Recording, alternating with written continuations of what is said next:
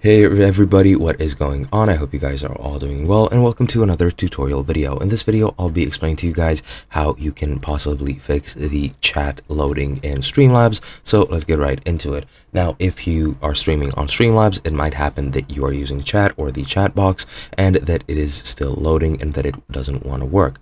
Uh, and uh, the way you can fix this is uh, well, there's pretty much only one which I have found, and this does tend to help people since the update which brought this in has broken some things. But as you can see i'm on a forum on obs project and i am on this post uh, by this guy adj streams. And the question is why does the sibling power uh, browser source hardware acceleration work?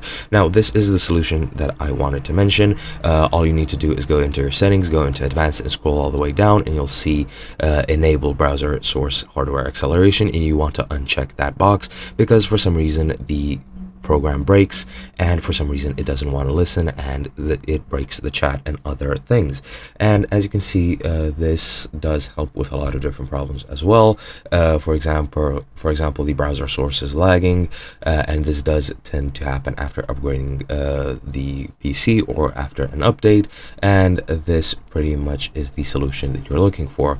Uh, now this might be usually because of Windows 10 not being great with resource allocation and uh, in general uh, because the drivers are poorly implemented as you can see by the uh, lower two answers and the only two answers uh, for that matter. Uh, but yeah that is pretty much it. You just want to disable browser source hardware acceleration and you should be fine. And that is pretty much it. Hope you guys enjoyed i'll be seeing you guys next time